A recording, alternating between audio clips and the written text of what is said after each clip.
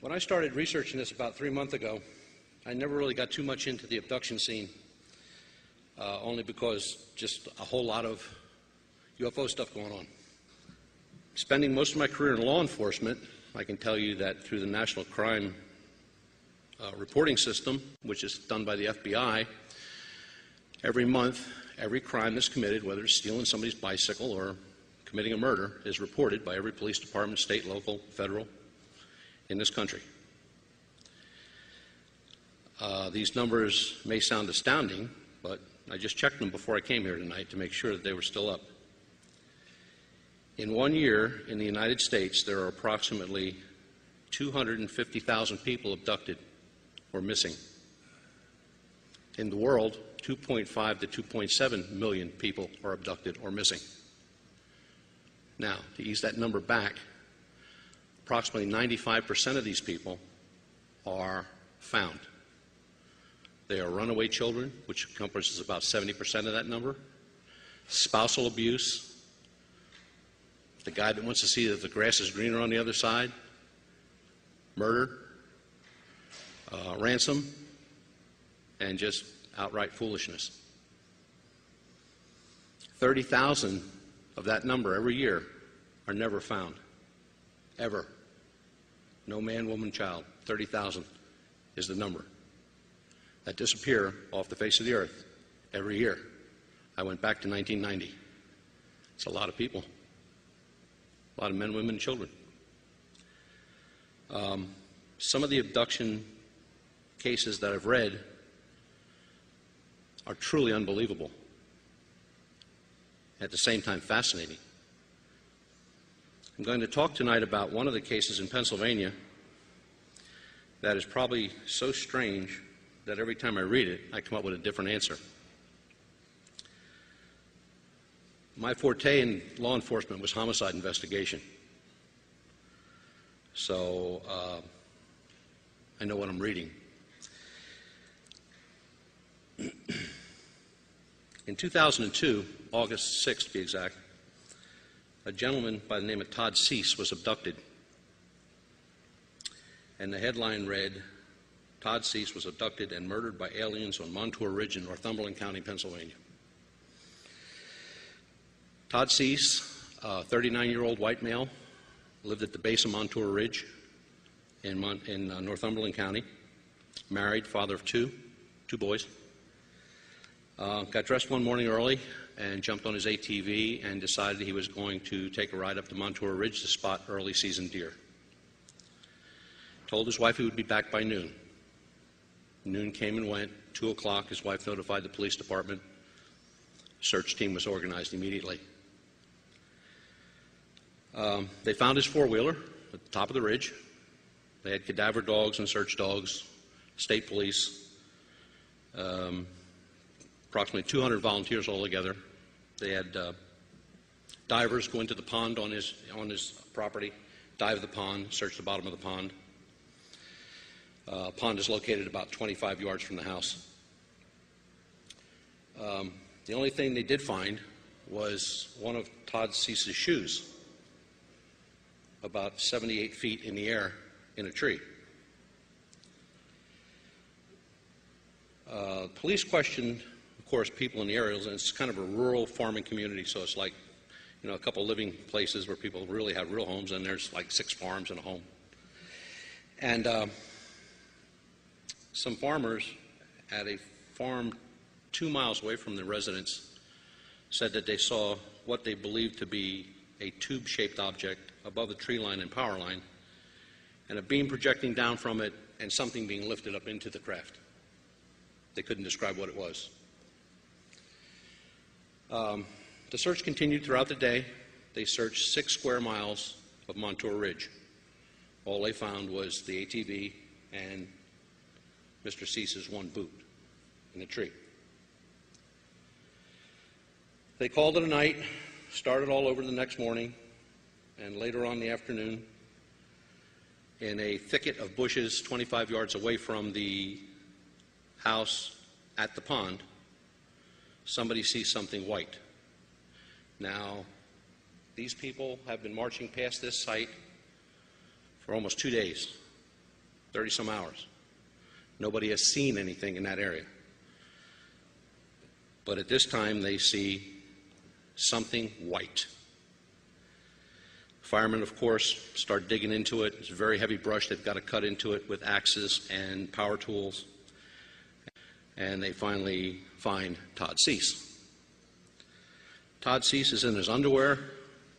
He is pale white. He's emaciated. Remember, this takes place in August. Had he been out there for the time of death, which the coroner ruled at 36 hours, he would have been bloated beyond belief. There was no livor mortis, no rigor mortis on the body, nothing but a few scratches from the bramble bushes in which he was entangled. Three feet away from his body was that of a dead rattlesnake, same time of death. Uh, Mr. Cease was not bitten by the rattlesnake. The body was described by people at the scene as his hands were up like this, and he had a look of horror on his face. He also had one inch and a half or one centimeter burn mark on his left temple. The body was removed without a coroner on the scene.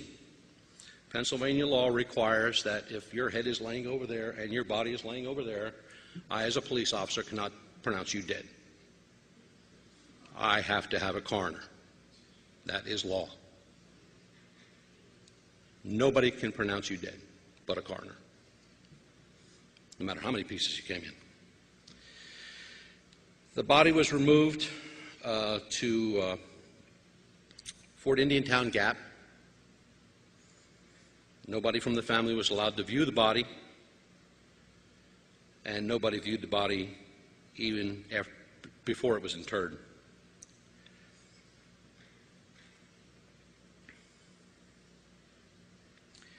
Point Township has about a six man police department. Their statement after all this took place was that Todd Cease's um, information on how he died would be forthcoming in about six to eight weeks, and that's when the people could have the body back, the family. Toxicology had to take place. They wanted to know what was in the blood, what happened. Was there any foul play, which they kind of ruled out. Seven and a half weeks later, the toxicology results come back. Todd Cease died of a cocaine overdose. I've seen a lot of cocaine overdoses. Never seen one where the guy threw his shoe up in a tree and there were no footprints around his vehicle, like when he got off his vehicle to wherever he went. There was always a coroner on the scene. So, with all that in mind, we tried a Freedom of Information Act report request from the police department. We were told it's still an open case. My question to the sergeant that day was if it's still an open case, why did you say that he died of a cocaine overdose? Isn't that the cause of death? Yes, he replied. I said, if that's the cause of death, then the case is closed. No, it's not. And then he threatened to have me arrested for harassment. Good luck. The Todd Cease case with Pennsylvania MUFON is an open case. Uh, myself and another investigator from another group are looking into the case as best we can, and we try to keep up with the police as best we can. Do I think he died of a cocaine overdose? Nah, not even close.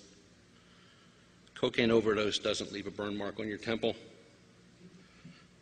Cocaine overdose does not make you disappear for 36 to 40 hours. And I find it very hard to believe that 200 searchers with dogs and cadaver dogs walked past this body for two days and didn't see it. So, is this one of our abductees? Now, the dark side. These early 90s, the, the, the mutilations were all the same. The eyes are removed, parts of the jaws are removed, ear, inner ears are removed, tongue, inner throat removed uh, anal area cored out, sexual organs removed, and some intestinal and respiratory organs also removed. In 1956, we got the first report of a human victim, the same type of mutilation. Was Master Sergeant Lovett, United States Air Force, stationed at Holloman Air Force Base in New Mexico. And he, um, along with his colonel, went downrange to pick up some missile parts from a shot that they had that morning. The colonel's on one side of a little sand mound, and sergeant's on the other side, and the colonel hears the sergeant screaming, so he runs up over the sand dune in time to see the sergeant being drug off by his leg with something like a cable wrapped around his leg and being pulled into a saucer type ship. The colonel immediately jumps back in his jeep, heads back to headquarters, tells them what happened, and immediately place him under arrest for murder.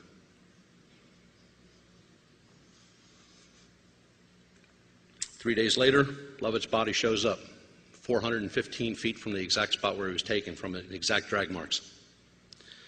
The body is identical to the mutilation of a cow. Everything is missing, just like cow, cattle that have been reported since the early 50s. In 1988, this most disturbing case came to light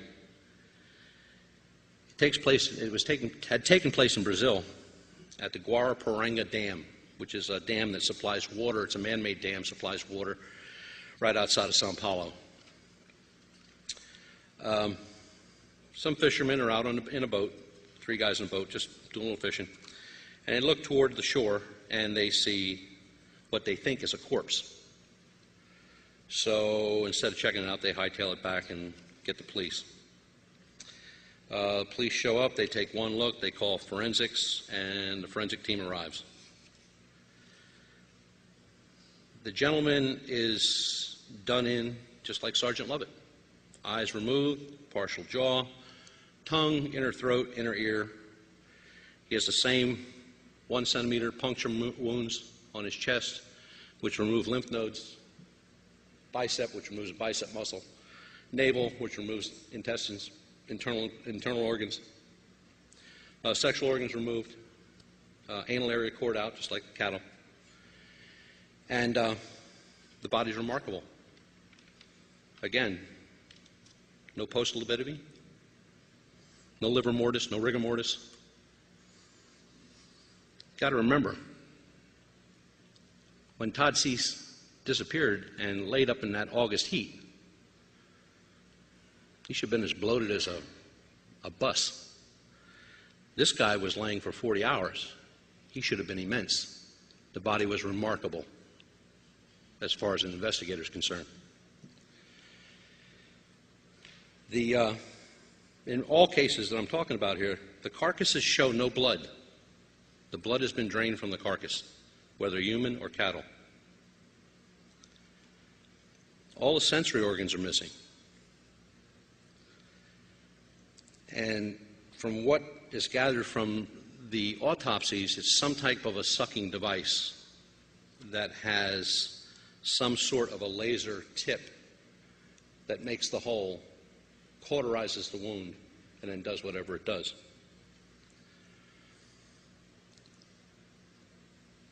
I was fortunate enough to get the autopsy report from this case. I also have the pictures of the body. Um, People often ask, why don't I put it up there? Yeah, you don't want to see these unless you've got a real strong stomach. Um, the autopsy report keeps mentioning, of course, it mentions all the wounds and what's missing, but also it keeps mentioning two words vital reaction. Anybody here know what vital reaction is? If I stab a dead person, all I'm going to get is a wound, an open wound. Nothing else. No black and blue, no tearing, no bleeding, nothing. Just just an open cut. If I stab a live person, there's a movement, there's a vital reaction. Now I've got bruising, I've got tearing, inside, outside. Okay? In 17 sentences in this autopsy report, it mentions the victim has suffered from vital reaction. This guy was alive.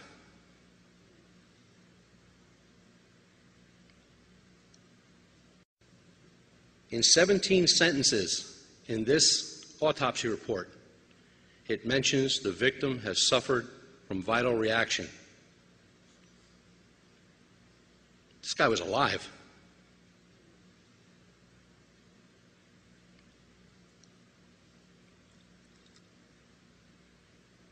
The um, disturbing thought of being butchered alive is very hard to comprehend. The true test of the vital reaction is to remove the skull cap during an autopsy. When the skull cap is removed and the brain is exposed, a vital reaction to a forensic scientist or a doctor, you would see a hematoma on a blood vessel. Not big, just a burst. Okay? That's the body's reaction to pain. So if you roll somebody over and you whack them on the back of the head and they go unconscious, probably not. They're just going to have a hematoma and they're going to have a headache. If you roll somebody over with a steamroller very slowly, inch at a time, foot at a time, the brain just goes haywire. The brain can't handle that kind of pain, and the person passes out, which is a good thing. This guy's skull was, his brain was covered with them. From front to back, all lobe areas were covered with hematomas. This gentleman was alive when this took place. Then I came upon a case uh, which was a horse that was found in Colorado. That when the when eyes are removed, you have a vis- viscous type of fluid that flows. Not blood, it's just fluid behind the eyes. The investigator is standing there and he's looking at this horse's face and he's just staring and staring and staring, and he finally comes to the conclusion that, wait a minute. If the eyes were removed and the horse was on his side, the visceral fluid would have went this way. But instead, the visceral fluid went right down his snout, over his lip to his missing jaw. That horse was alive. He was standing up.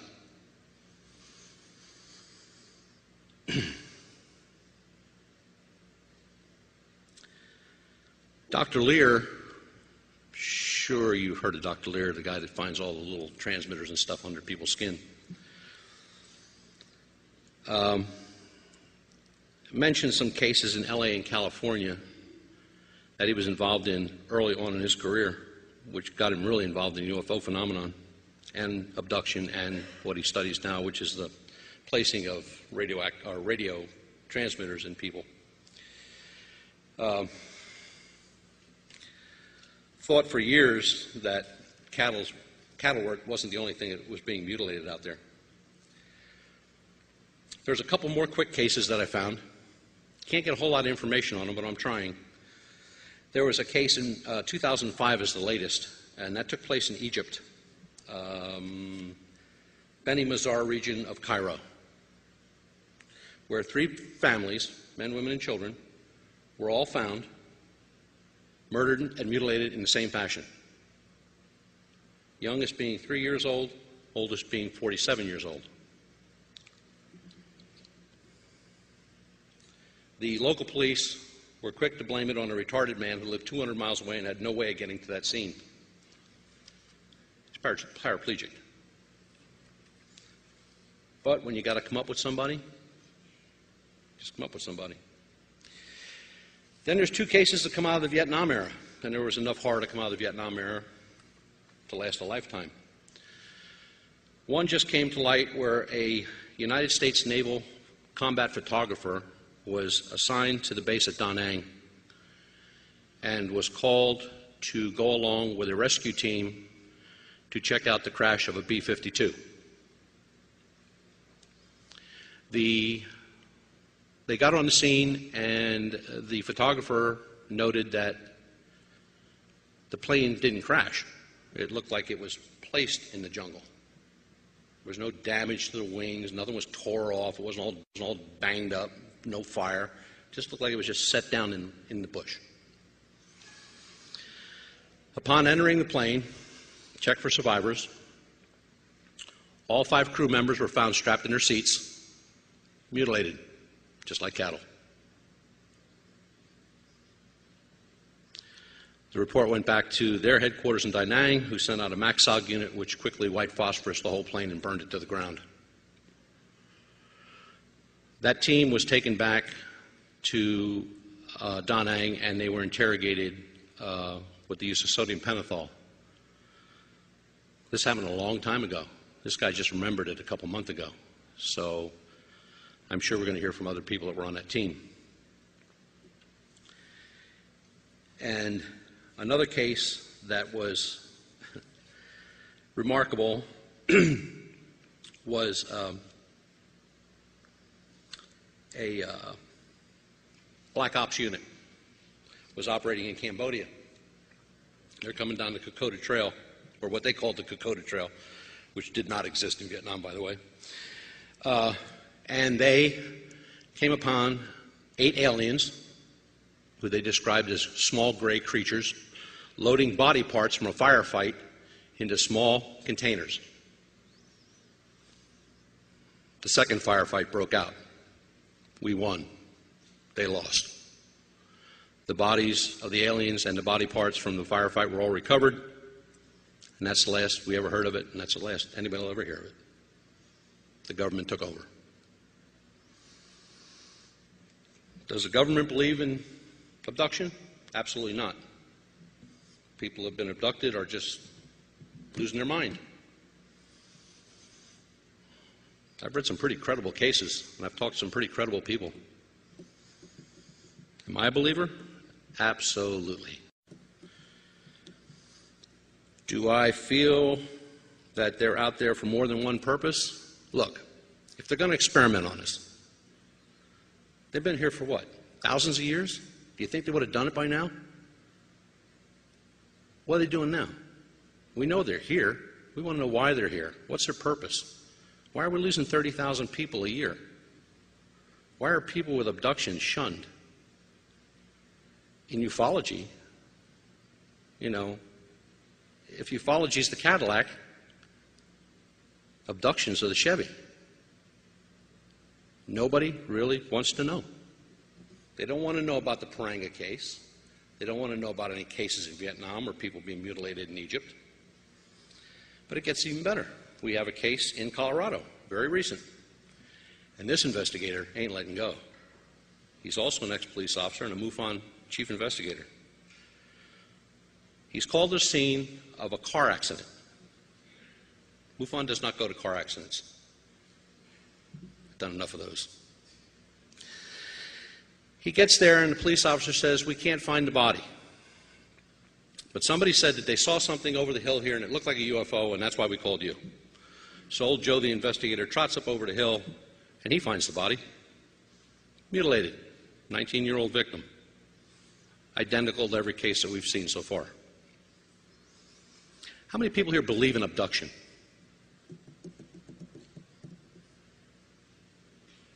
It's true. It does. It happens. It has happened. The Todd Cease case, we're not going to let go of it. That old sergeant up there who thought he was going to have me arrested for harassment just bit off more than he can chew. Uh, we will find out what happened to Todd Cease. I've been contacted by the family. They're backing me up 100%. First, they didn't. First time they back, first time they called me, uh, they threatened me with a lawsuit. I don't know, shooting my dogs, uh, whatever. They just went berserk. But uh, we will find out what happened. And uh, the human mutilation, after reading these cases and looking into some of this stuff and coming up with some of this stuff, you know, if you see something flying up there and it's close, run like hell. Don't call me. Don't think about anything. Just get out of there. Just go. Because I have no idea what they want. can't be experimenting. I mean, we're not that we're not that sophisticated that it takes 2,000 years to investigate one of us or experiment on us. There, there are many cases that are just shoved aside or ignored. If you're investigators out there or, you or you have an interest in this phenomenon, uh, and I got this from Peter Robbins, and I, I found it to be a very, very true statement. If you want to know about all this stuff, you need to have your own library. Build your own library. Get the books on abduction. There's tons of them out there, written by really great investigators. John Mack, Jacobs. I mean, there's a ton of them. They'll give you all the information you need, which will take you to this, the internet, which is loaded with information. You just got to know where to find it. So you've got to think outside the box. Don't think abduction like the light comes through the window and the body gets off the bed and out the window it goes and it comes back three hours later. There are many types of abductions. The ones that concern me the most are the 30,000 abductions. Those are the ones I'm concerned about. I can't imagine 30,000 people a year just vanishing. And when I say vanishing, I mean no trace at all. No bodies, no whereabouts, no contacts, nothing. They're gone, like they never existed. And part bothers me the most about that is the children. They don't really have a whole voice or a lot to say about anything anymore. Um, there are not that many cases in Pennsylvania that we've encountered with abduction. And I think the reason of that being most people are distrusting. You know, somebody's going to tell me something, I'm going to call the newspaper. Not happening. I am not a real newspaper guy. Matter of fact, I've been dead three times because of newspapers. They don't get anything right. I would never turn over anything to a newspaper. We have a contact us section on our homepage, which is www.pamufon.com. Last page says contact us. You put something in there that you need me to look at, or you want me to look at, or you want to tell me about, that comes direct to me. It goes to nobody else. My number, my website, and the, my personal email address is right there. You can get me in a matter of minutes, and you'll get a call back very shortly. The abduction phenomenon is getting stronger, larger, all the time there seems to be no let up. Worldwide, like I said, 2.5 million people a year. What about all the countries that don't report those statistics, like Zambia, Angola, all those third world countries that they don't report anything? So, how many more people do we add? I did a statistical check to see on the percentage of change year to year since 1990. Uh, high points of abduction were 91, 95, 2001. On average, you get a 1 to 2% increase every year or decrease, one way or the other. In those specific years, you had a 10, 12, and a 14% increase. So now what we need to do is we need to go back and look at the UFO sightings in those areas for those years and see if they increased. It's the only way we can put this together. But like I said, you see one, run here tonight to make sure that they were still up. In one year in the United States, there are approximately 250,000 people abducted or missing. In the world, 2.5 to 2.7 million people are abducted or missing. Now, to ease that number back, approximately 95% of these people are found. They are runaway children, which encompasses about 70% of that number. Spousal abuse, the guy that wants to see that the grass is greener on the other side. Murder. I'm going to talk tonight about one of the cases in Pennsylvania that is probably so strange that every time I read it, I come up with a different answer. My forte in law enforcement was homicide investigation. So uh, I know what I'm reading. In 2002, August 6th to be exact, a gentleman by the name of Todd Cease was abducted. And the headline read, Todd Cease was abducted and murdered by aliens. When I started researching this about three months ago, I never really got too much into the abduction scene, uh, only because just a whole lot of UFO stuff going on. Spending most of my career in law enforcement, I can tell you that through the National Crime uh, Reporting System, which is done by the FBI, every month, every crime that's committed, whether it's stealing somebody's bicycle or committing a murder, is reported by every police department, state, local, federal, in this country.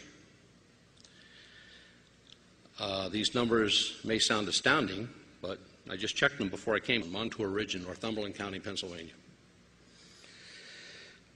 Todd Cease, a 39 year old white male, lived at the base of Montour Ridge in, Mon- in uh, Northumberland County. Married, father of two, two boys. Uh, got dressed one morning early and jumped on his ATV and decided he was going to take a ride up to Montour Ridge to spot early season deer. Told his wife he would be back by noon. Noon came and went. Two o'clock, his wife notified the police department. Search team was organized immediately. Uh, ransom and just outright foolishness. 30,000 of that number every year are never found. Ever. No man, woman, child. 30,000 is the number that disappear off the face of the earth every year. I went back to 1990. It's a lot of people, a lot of men, women, and children.